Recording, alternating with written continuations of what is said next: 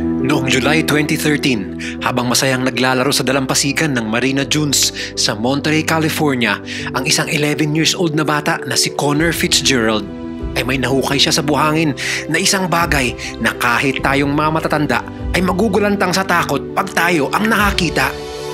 Ano kaya ang bagay na ito na kanyang nakita? At ano ang mga susunod na kaganapan na ikinagulat ng mga tao sa lugar na iyon?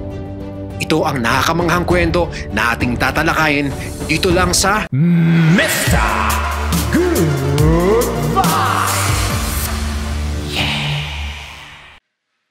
Ang pagbibeach ay isang bagay na paborito nating gawing mga Pinoy.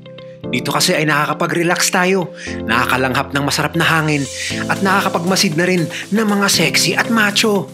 At yung iba, pinaghahandaan talaga ang pagpunta sa beach. Nagbabaka sakaling magka-love life na rin pag sinuwerte.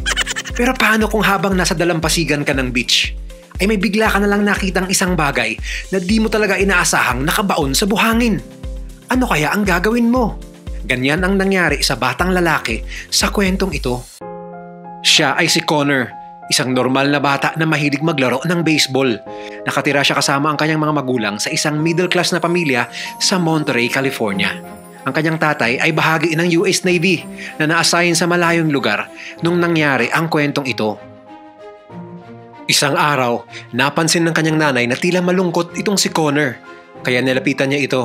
Ayon kay Connor, namimiss raw niya kasi ang kanyang ama na lagi niyang kalaro ng baseball pagkagaling niya sa eskwela. Agad naramdaman ng kanyang nanay ang kalungkutan ng anak.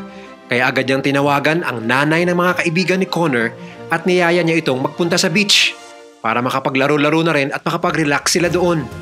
Para kahit paano ay maibsan ang lungkot ni Connor nung araw na yon. Agad namang pumayag ang kanyang mga kaibigan at agad silang nagtungo sa Marina Dunes Beach na di kalayuan sa kanilang tinitirhan. Napakaganda ng panahon sa beach nung sila ay dumating. Madaming mga pamilya at maririnig mo ang mga batang nagsisigawan at mga taong nag-e-enjoy sa kakalangoy. Pagdating sa beach ay agad nakalimutan ni Connor ang kanyang pagkalungkot. Niyaya niya ang kanyang mga kaibigan na gumawa ng sandcastle sa isang malawak at mabuhanging bahagi ng beach. Ang ginawa nila ay nagpataasan sila ng sandcastle at ang matatalo ay tuwang-tuwa nilang sinisira at dinadaganan. Para sa mga batang lalaking ito, isa lang itong tipikal na araw na punong-puno ng tawanan at kulitan. Nung nagsawa na sila sa kakalaro ng sandcastle, umusad sila sa isang di mataong bahagi ng beach at nagumpisang maghukay-hukay. Dito naman ay nagpalaliman sila ng butas. Habang palalim ng palalim ang paghuhukay ni Connor sa buhangin, ay bigla na lang may nakapa ang kanyang kanang kamay. Nagtaka siya ano ito, kaya lalo niyang nilaliman ang kanyang paghuhukay. Ano kaya sa tingin niyo ang bagay na ito na nahukay ni Connor? Isa kaya itong sirena na naanod sa dalampasigan? O baul na punong-puno ng treasure? Nagulat si Connor dahil ang unang bagay na tumambag sa kanya ay isang uri ng bag. Agad niyang hinukay ang paligid ng bag at sinubukan niya itong hilahin. Pero di niya kinaya dahil mabigat ito at dahil malalim na rin ang pagkakabaon nito sa buhangin.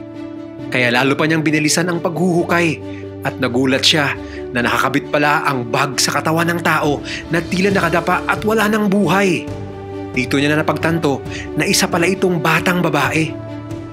Agad siyang lumingon sa paligid para maghanap ng mas nakakatandang maaring tumulong sa kanya. Pero wala siyang mahanap.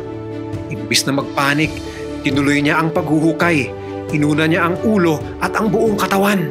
Buong lakas niyang hinila papalabas ng hukay ang bata at dinala sa flat na lugar sa buhanginan. Hindi na humihinga ang batang babae nung inaahon niya at tila malamig na ang katawan at punong-puno ng buhangin ang kanyang buong bibig at ilong.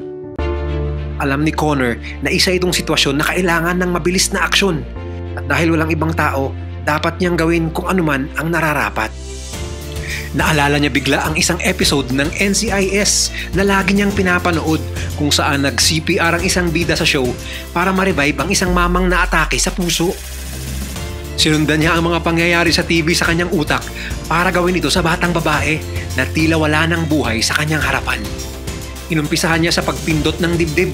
Tapos itinaas niya ang ulo ng bata, itinaas niya ang baba at agad niya itong minouth to mouth sa pamamagitan ng pagbuga ng dalawang malalakas na hangin sa bibig. Dahil wala siya nakuha ang reaksyon sa bata, inulit na naman ni Connor ang buong cycle ng kanyang pag-CPR. Habang nangyayari ito, may dalawang tao naman na balisang naglalakad sa di kalayuan at sinisigaw ang pangalang Alicia. Ito pala ang magulang ng bata at ito ay nawawala ng ilang oras na na kanilang hinahanap. Ang anak nila ay si Alicia Boston, isang 5-year-old na batang babae na nagpaalam lang na maglalaro sa buhanginan mag-isa. Habang naglalakad ay nahulog siya sa isang malalim na hukay sa bangin na iniwan lang na nakatiwangwang. At pagbagsak niya ay sabay naman ang pagguho ng hukay kaya siya natabunan. Sa isang iglap ay di na siya makakilos at nahirapan na siyang makahinga hanggang sa mawalan ng malay. At sa kasalukuyan, ang buhay niya ay nasa kamay ng isang 11 anyos na bata na aksidente lang siyang nahukay. Nung nakita ng mga magulang ni Alicia si Connor at ang katawan ng kanilang anak na tila wala ng buhay, agad silang napatakbo, papalapit. Hindi mapigilan ng nanay na umiyak at ang tatay naman ay agad tumawag ng 911 para humingi ng tulong. Pero ilang minuto pa raw bago ito makakarating. Hindi natin itong si Connor sa sitwasyon na kahit tayong matatanda ay malamang magpapanik kung tayo ang nandun. Tinuloy niya ang pagpindot sa dibdib nito at di na niya alintana ang mga mata ng tao na nakapaligid sa kanya habang pinagmamasdan ang pangyayari. Ang ibang mga magulang na nakakita ay di mapigilang maiyak. Marahil ay naisip din nila ang sarili nilang mga anak na nalagay sa ganong sitwasyon. Sa huling pagpindot ni Connor sa dibdib ay bigla na lang umubo si Alicia at huminga ng malalim. Timing din ang pagdating ng mga paramedics ng 911 kaya agad nila itong pinasok sa ambulansya para mabigyan ng oxygen at sinugod sa ospital. Ang lakas ng loob at composure ng batang si Connor ay ang tanging dahilan na umabot pa sa ospital si Alicia.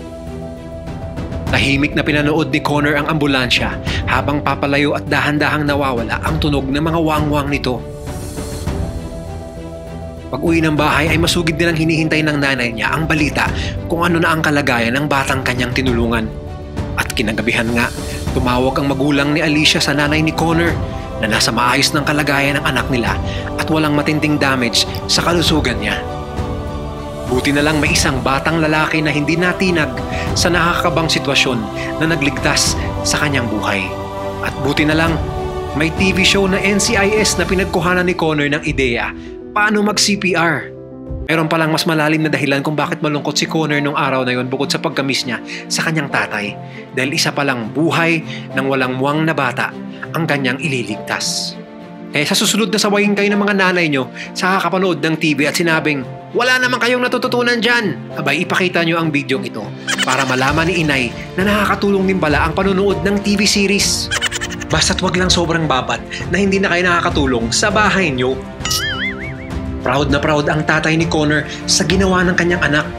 Imbes na maging trahedya ay naging selebrasyon ng pagkabuhay ng isang batang babae at isang kabayanihan ng batang lalaki ang nangyari.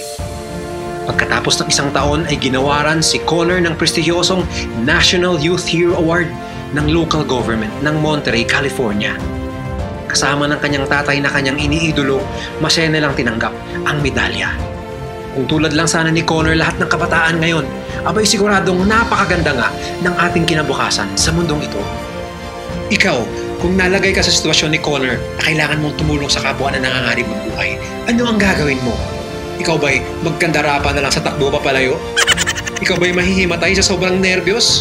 O kaya eh, deadmahin mo lang yung pangyayari na parang walang nakita? Mag-comment ka lang sa comment section sa baba. Kung nag-enjoy ka sa video na to, huwag kalimutang i-share sa iba. At syempre, mag-like, mag-comment at mag-subscribe ka na rin. Kita-kita rin tayo sa TikTok at Mr. Good Vibes. Sa isa ko pang YouTube channel, Mr. Good Vibes at sa Facebook page natin.